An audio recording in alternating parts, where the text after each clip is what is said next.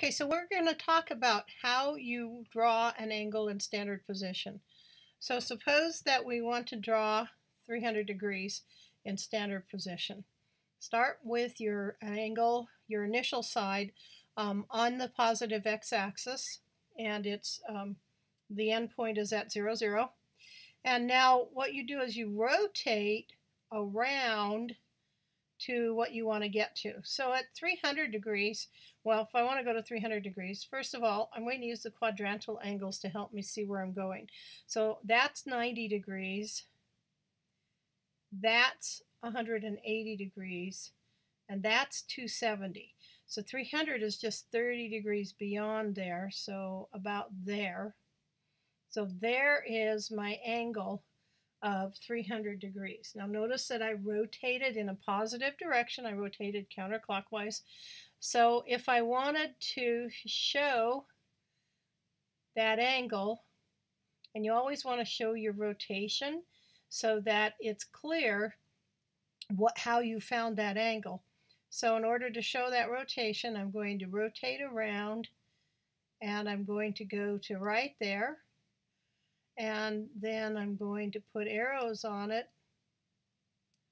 to show that there is my um, final angle of 300 degrees. Now just note that that 300 degree angle, that terminal side, could be considered not a 300 degree angle, but a negative 30 degree angle if you look at going this direction. So if I go from my initial side clockwise to my terminal side, then I have an angle of negative 30 degrees. Now, let's suppose that we want to draw an angle of 3 pi over 4 radians. We're still going to use the quadrantal angles to help us. Remember, this angle right here is pi over 2. The whole circle around is 2 pi. So one fourth of that, one fourth of 2 pi is pi over 2. This is pi. 3 pi over 4 is more than 1 half pi, because that would be 2 pi over 4, but it's less than 1 full pi, because that would be pi, and as a matter of fact, it's halfway between them. So if I'm going to draw 3 pi over 4, I want to go about halfway. I want to go exactly halfway between the two um, axes. Now, again, remember to draw your um, angle to show that angle and the direction your angle is going. So that is a positive 3 pi over 4. What if I want to go in a negative direction? Well, in that case, I'm going negative pi over 2, negative pi, plus another 1 fourth of a pi.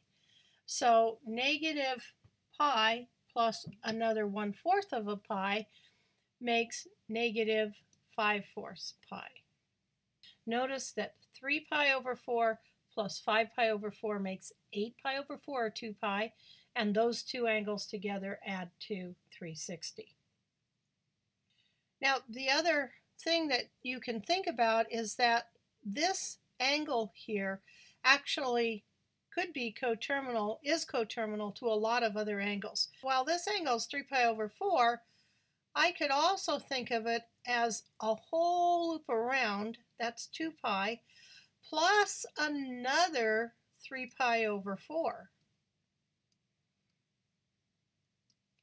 So that angle, if you have 2 pi plus 3 pi over 4, makes 11 pi over 4. So any angle with a terminal side could be an entire wraparound plus that angle again. So there are many, many angles with a specific terminal side. You have to get used to that.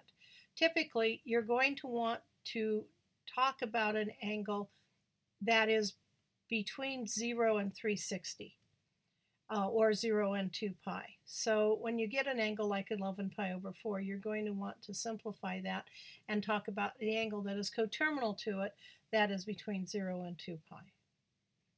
Okay, I think that pretty much covers drawing angles in standard position. So you get to practice a few.